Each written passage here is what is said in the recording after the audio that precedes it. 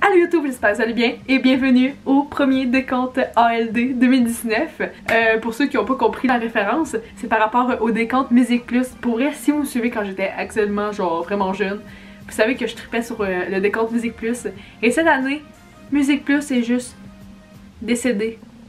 J'ai décidé de faire comme un semblant de décompte Musique Plus, mais pour l'année 2019 parce que à côté musique, 2019 a vraiment été forte en découverte. Et euh, ben c'est ça, je vais vous montrer le top 19 de mes meilleures tunes de 2019. Top 10 2019, tunes de 2019. C'était pire qu'un rap tout ça. Mais on commence maintenant dans cette vidéo. on essaye de répliquer euh, le décor de Musique Plus là. Mais clairement on n'a pas le même budget là, parce que j'ai toutes mis mes tunes à noter le flamant rose pour la cause. Il y a, il y a 6 pieds de neige dehors mais... Parfait. Première, la première tune du fameux décompte numéro 11, la, la numéro qui est François Lachance, Westphalia. Dans le fond, cette tune là je l'ai écouté vraiment en répétition. Et si vous le savez, François Lachance, je le tripe dessus depuis que j'ai... Euh, 2000, depuis que j'ai... Je sais pas j'ai quel âge. Depuis Star Academy 2012, donc ça fait un méchant bout. Et euh, il a commencé à faire même des lives sur Twitch dernièrement. Donc euh, je suis contente d'aller euh, le suivre parce qu'il commence à faire des lives sur Twitch de tunes qu'il fait. Puis des fois il fait des répliques, puis il fait des covers. Il fait des jeux aussi de karaoké avec sa blonde puis ça. C'est vraiment nice. Puis cette tune là je l'ai vraiment mais vraiment écouté souvent. Donc euh, enjoy.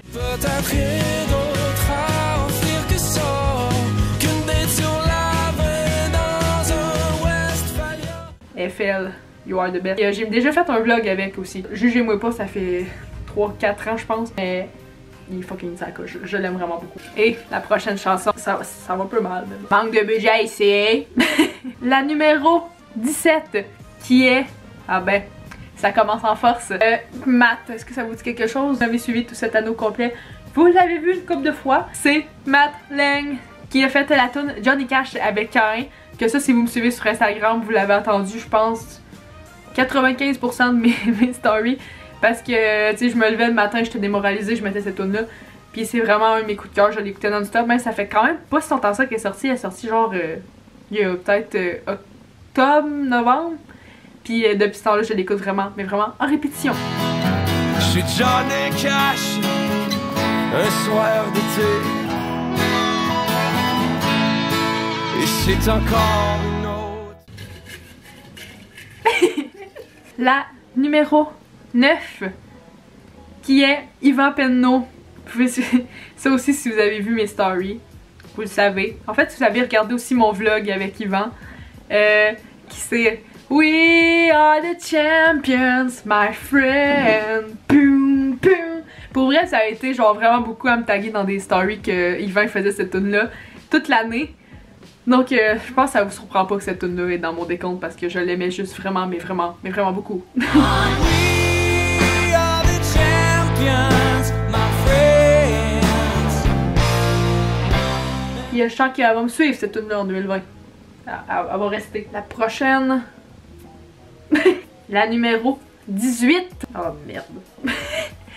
Puis ça pour vrai, je vous l'avertis tout de suite. C'est la tune que je redoutais le plus parce que c'est celle-là qui est en anglais et mon anglais, comment dire, t'as chié en tabarnak. Donc euh, c'est une tune de Tebi que justement Matt va commencer à faire. C'est vraiment parti au courant de, de 2020. Puis euh, partout dans le Canada. J'ai hâte de voir euh, mon bidou aller un peu partout le Canada puis euh, se faire découvrir, mais je m'ennuie. Là, j'essaie de contourner la situation pour dire que j'ai pas dit le nom de la tune parce que ça va être un vrai désastre. Demi and Demi. Je suis sûre que je le dis pas comme du monde, mais pour vrai, allez voir ça, elle est juste fucking nice.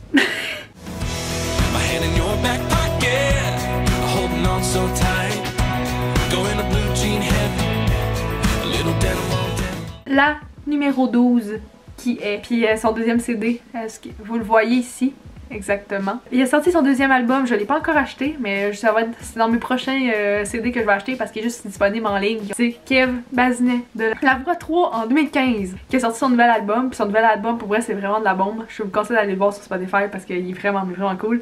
Et j'ai choisi la tune Je rêve encore qui parle d'anxiété et tout ça. Fait que ça me touche euh, réellement parce que je suis un peu une fille euh, anxieuse dans la vie. Euh, un petit peu. Je ne pleure pas, je suis ma voix. Ah, c'est tellement une de mes tunes, ça pour vrai. Là. Malgré que ça fait un siècle que je l'ai pas vu, mais on va se croiser les doigts qu'en 2020 euh, ce soit euh, le moment de le voir parce que ça fait une couple d'années, je l'ai pas vu environ. La prochaine, non la moindre, la numéro 15, qui est... Ah, lui, c'est tellement une de mes découvertes pour vrai en 2000... Ah, voyons, en 2015, 2016, 2017, on va y arriver à la grande. Ma découverte de 2019 qui est passée à la voix, et c'est Rick Pagano avec Rêver mieux. Comme là, je sais que prochainement, il va sortir son EP. Je sais, je sais pas au moment que je tourne la vidéo, il a pas sorti encore. Mais il a dit que bientôt, il allait sortir. Donc, euh, j'ai vraiment hâte parce qu'il y a une tune qui s'appelle Clone, qui est vraiment, mais vraiment cool. Donc, euh, regardez ça si vous aimez Rick, parce que ça sort bientôt, la gang. Puis j'ai vraiment hâte. Donc, euh, mieux. Parce qu'il l'avait fait aussi à la voix. Donc, euh, that's it, bidou. Moi c'était facile dans ma tête, je pouvais dormir et peut-être rêver mieux. On est de retour pour le pour le décompte ALD. Qui est qui a gagné le concours hein? pour gagner une auto? Ah, c'est le numéro, numéro 6 qui gagne un char, la gang. Le numéro 6 qui est Ah, ben Ludo, tu gagnes un char. qui est Ludovic Bourgeois avec Que serait ma vie? Et lui qui en 2020, son deuxième CD va sortir euh, officiellement. J'ai vraiment, mais vraiment, vraiment, vraiment hâte. Donc ça, c'est le premier extrait de son album, Que sera ma vie, que je l'écoute vraiment, vraiment souvent. Puis que j'ai hâte de revoir parce que je le revois en 2020, au mois de mai, le 20 mai, je crois, je me trompe pas, qui vient à Sherbrooke au centre culturel. Puis, euh, ben, quelle surprise, je vais être là! Que sera ma vie? Sans âme sans si tu n'es plus là? Que sera ma vie? Un, un, pour vrai, cette tune est fucking nice, ça n'a aucun sens. Ok, on poursuit avec la septième, qui est... Oh! Elle, je l'aime vraiment, mais vraiment beaucoup. Pour vrai, euh, j'aurais pu la mettre comme... Toutes ces, toutes ces tunes, j'aurais pu le mettre dans le décompte, mais j'ai choisi cette tune-là en particulier, parce que je l'adore. C'est pour vrai, je pense, ma découverte numéro 1 de l'année. qui va peut-être écouter cette vidéo en plus, donc euh, je te dis allô. Euh, allô. C'est un, ça, c'est un indice. Parce que c'est parce que c'est Laurent Saint-Martin avec Bout du Monde. Pour vrai, cette tune là est juste complètement débile. Euh, ça parle, dans le fond, qu'elle a perdu une de ses amies à son bal de finissant et tout ça. Vous pourrez voir sa vidéo, elle a fait une vidéo complète qui parle de sa tune au complet. Puis c'est vraiment touchant pour vrai. Je vous le conseille vraiment beaucoup. Euh, c'est sûr que c'est pas une tune à mettre sur le party, là. écoutez pas ça le 23 décembre. Parlant de ça, euh, sa nouvelle tune Cheers est pas dans le décompte, mais fucking nice, ok? Ça, je dis rien. Donc c'est ça, Bout du Monde, pour vrai, je vous, je vous le conseille. clair. Je me suis fondue dans les yeux de ta mère. Deux grands trous noirs. Pourquoi ma mère, elle écoute les deux F à tout tête présentement? J'étais vraiment en train de contaminer tout le monde, c'est pas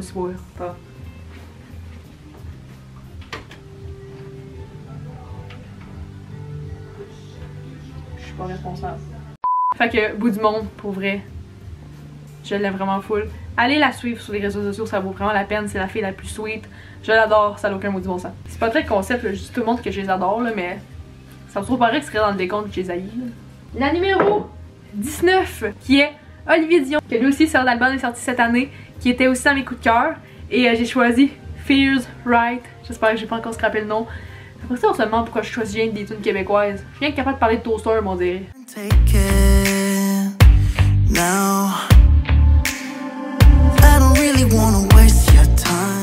J'espère qu'il va sortir des shows en 2020 parce que la fille s'ennuie un peu. Non, je le connais lui. Encore une tune anglaise. Qui est la numéro 2. Et la numéro 2, celle-là, vous l'avez entendue non-stop. Euh, son, son deuxième album, son deuxième ou troisième, c'est comme pas très clair, euh, sort au courant de l'année 2020. Je pense début 2020 qu'il avait dit. Mais s'il arrive pas de bad luck. Et j'ai ma foi vraiment, mais vraiment hâte. Parce que c'est un bidou qui te cite. On, on- je pense qu'on y voit même pas le bout de la tête, en tout cas, c'est pas grave. c'est Matt, Matt Lang avec You we got one down whiskey. Ok, je vais fermer ma gueule puis je vais vous laisser avec l'extrait.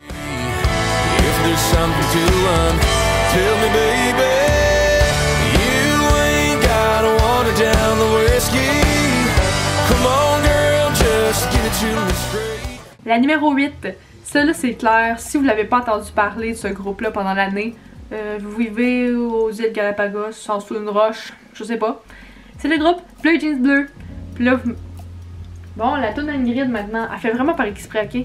Salut Ingrid, je m'ennuie, je t'aime. Euh, euh, la numéro 8, qui est Bleu Jeans Bleu. Pour vrai. Là, je sais quand vous entendez Bleu Jeans Bleu, vous vous dites. Mais pour vrai, moi cette année, j'ai, j'ai- je l'ai écouté quand on votait comme tout le monde. Mais une de mes tunes bref, ça c'est à cause des deux F, je dois l'avouer. Mais surtout Ben. Ok Ben, c'est ta faute. c'est Mais c'est le king de la danse en ligne! Parce que j'ai vraiment écouté leur album souvent. Cette année, je l'ai même acheté comme vous avez vu au gala de la disque. Comme quand cette tune là passe, comme dans le char, je gueule ma vie comme une hystérique. que j'avais choisi sans le savoir le soir de l'âge d'or. Ça c'était pas mon meilleur quart. Temps pub publicitaire. Avant qu'on parte en tournée, tout l'été, sa route avec le ciel bleu. Mon album va être disponible euh, jamais. C'est la fin de cette pub. On est de retour au décompte en LD. La numéro 10, que c'est flou. Ah, la numéro 10, la troisième fois qu'il revient dans le décompte, mais ce coup-ci, c'est pas le même nom. C'est euh, Mathieu Langevin avec euh, son album que celui-là aussi vous l'avez sûrement entendu souvent cette année parce que j'en ai parlé vraiment beaucoup. C'est Sauve-toi pas. L'album s'appelle comme ça, mais c'est ma tune préférée dans son euh, premier album. C'est pour ça que je vous ai dit tantôt qu'il y a comme deux, trois albums, comme pas clair. Parce qu'il y en a un qui est fait en Mathieu Langevin et il y en a, ben potentiellement bientôt deux autres, que c'est en Matt Neng. Fait que il y en a trois, mais il y en a deux. Mais là, c'est son premier, premier, premier album. C'est là qu'il a écrit euh, Merci beaucoup Bidoun. Pour ceux, qui sont, pour ceux qui sont là depuis un bout. Bidoun est toujours là.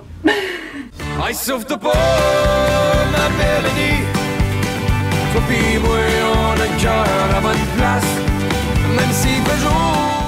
La numéro 13. Ah, on n'a pas, numéro... pas eu encore la numéro 1. Ça sent bien la gang. je sais pas pourquoi je checkais ça. Là. La numéro 13. Ah, lui, je l'ai vu à la fin du Lac des Nations. Euh, ça a été quand même un show le fun, malgré qu'il était court, si vous, avez suivi la saga de- du Lac des Nations. Euh, c'est Lord avec Jamais de la vie. Pour vrai, cette tune là je l'ai écoutée vraiment non-stop. Genre, c'est grandi, je la connais legit par cœur. Genre, on arrive dans le shop, puis je suis comme Jamais de la vie, je vous gagne une vie normale. Non, non, non, non. Jamais de la vie, je voudrais une vie normale. Non, non, non. So they can never tell me how to live my life. La numéro 16, qui est. Oh, j'aime tellement celle-là. Euh, celle-là, ça a été une grosse année pour elle parce, parce qu'elle a eu son premier enfant. Puis fallait peut-être que je, où c'est je vais en venir. La 16e qui est Ali Moffett, Alicia Moffett avec Open Up, qu'elle a sorti comme. euh, là, elle va en sortir une dans les prochaines semaines. Fait que là, je sais que vous allez me dire que si je dis des niaiseries. Mais elle a sorti deux tunes pour le moment. La troisième s'en vient, je pense, cette semaine. Elle a comme un spoiler euh, cette semaine. là pour dire qu'elle va en remettre une nouvelle. Donc euh, son EP s'en vient très prochainement. Et celle-là, c'est vraiment un de mes coups de cœur. Ben, je les aime les deux, mais celle-là, je me suis dit, c'est ma préf. Donc je vais la mettre dans les décomptes. Open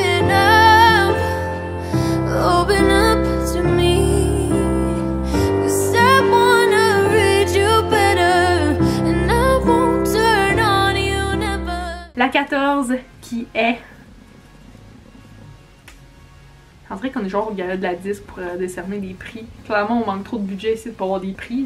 La 14e, qui est une personne que vous avez connue à Occupation Double. Euh, pas cette année, l'autre. Euh, je l'ai vu au show de Raphaël Roy. Un vlog que vous avez vraiment, mais vraiment aimé cette année. Parce que j'en entends encore parler quasiment euh, très très souvent. Il y a une tune qui pointe vraiment, mais vraiment dans la tête. Euh, il a fait un premier CD, euh, je dit, que c'était Oli Coussure. Je pense que j'en ai même pas dit. Arrête tes explications, fille. Commence donc par dire que c'est que c'est. qui est Olivier Couture avec Toi, toi, toi, toi, toi, mais qu'est-ce qui se passe avec moi, moi? Pour vrai, cette tune-là, pas une- genre vraiment, mais vraiment dans la tête. Mais je l'aime vraiment beaucoup. Donc, euh, c'est, ça va probablement, je sais pas s'il y a un CD qui est sorti prochainement, qui va sortir prochainement, mais euh, c'est comme son, premier single de son potentiellement deuxième album. Et euh, ben, je l'aime vraiment beaucoup, donc je vous conseille d'aller voir ça. Toi, toi, toi, toi, toi, mais attendez-vous à l'avoir dans la tête parce que c'est intense. Ça me fait dire n'importe quoi. Je suis en amour avec toi, toi, toi, toi, toi. Mais qu'est-ce qui se passe avec reste de moins en moins. Ah, on va voir la numéro 1 en dernier si ça continue. La numéro 5, là je pense que ça fait 20 fois que je dis ça dans cette vidéo. Mais un autre de mes grosses découvertes, je viens juste d'en parler en plus. Si je, fais peut-être un petit exprès, vous avez- exprès. Extrait, vous allez peut-être savoir. Et je t'aime encore comme dans les chansons. Que, elle va peut-être regarder cette vidéo aussi parce qu'elle me suit sur YouTube. Allô! qui est Raphaël Roy avec Je t'aime encore qu'elle a fait à la voix. Euh, Cette fille-là est juste vraiment, mais vraiment trop sweet. Celle-là aussi, c'est une de mes méchantes grosses, grosses, grosses découvertes de l'année. Euh, ben c'est on l'a découvert à la voix, comme vous le savez. Puis euh, ben, j'ai réussi à l'avoir euh, trois fois, je pense, trois, quatre fois. Euh, puis cette fille-là est juste un amour, ça n'a aucun sens. Et si vous ne savez pas, ben je pense que je vous l'ai pas dit, mais je la revois le 18 janvier, donc l'année commence en force. Puis euh, je revois peut-être même au show de Val Dupré si elle est là. Fait que euh, je vais peut-être l'avoir deux fois dans la même semaine. L'année commence en tarnac, la gang. Pour vrai, j'ai hâte de cette année.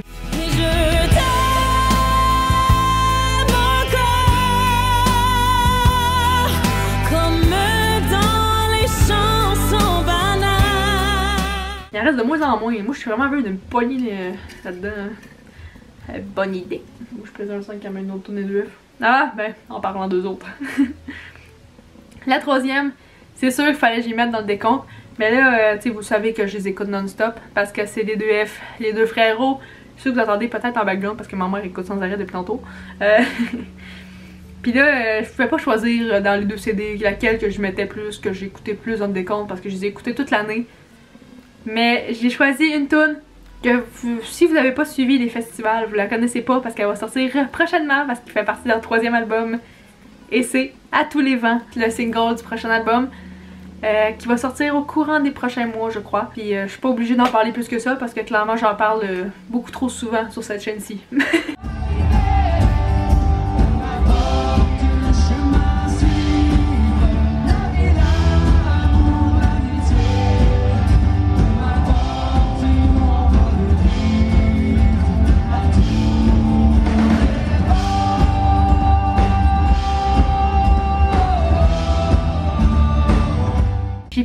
la numéro 1, la numéro 1 Pour ceux, euh, ça fait, on l'a entendu celle-là, hein? Il en reste une, je crois. Je vous en avais parlé dans cette vidéo-là. Euh, c'est mon coup de cœur numéro 1 de l'année. Euh, je l'adore terriblement.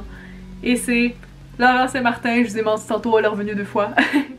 et avec Fille des îles, pour vrai, c'est la tune que vous connaissez probablement peut-être le plus parce qu'elle passe beaucoup sur Spotify, dans les playlists et tout ça. Et euh, c'est ça, c'est Malo. J'espère tellement que je vais aller la voir souvent en 2020 parce que c'est vraiment ma préf, je l'adore. Euh, allez la voir en spectacle, ça vaut la peine. Allez la suivre sur les réseaux sociaux. Je l'adore. Pour vrai, malade. Si un des îles,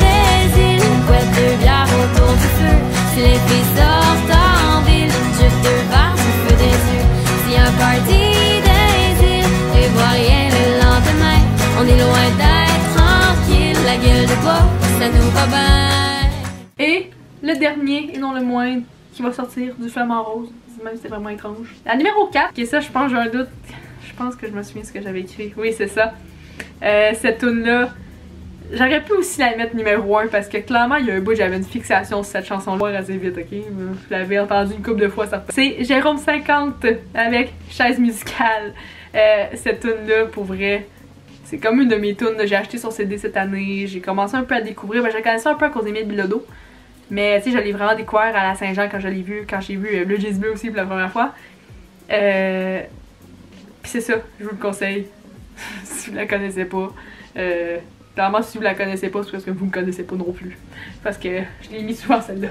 Les mâles alpha montent leur six-pack à Québec. Buffet à volonté de mec. Mais Rosalie est partie pour Amsterdam, Sao Paulo, Barcelone, Acapulco. Donc et voilà, c'est la fin du décompte ALD 2019. Euh, J'espère que vous avez apprécié. Euh, je sais pas si ça va revenir à tous les ans cette affaire-là, mais euh, on va voir. Donc euh, voilà, j'espère que vous avez aimé. Si vous donnerez un thumbs up et vous abonnerez à la chaîne, c'est déjà fait. Et nous on se retrouve au prochain vidéo slash vlog. Et euh, je voulais aussi vous dire que toutes les, euh, les artistes présentés dans cette vidéo vont être dans la barre d'infos pour toutes les rejoindre parce qu'il y en a il y en a beaucoup. Donc et voilà, j'espère que vous avez aimé. Puis nous on se retrouve au prochain vidéo. Bye dans cette vidéo.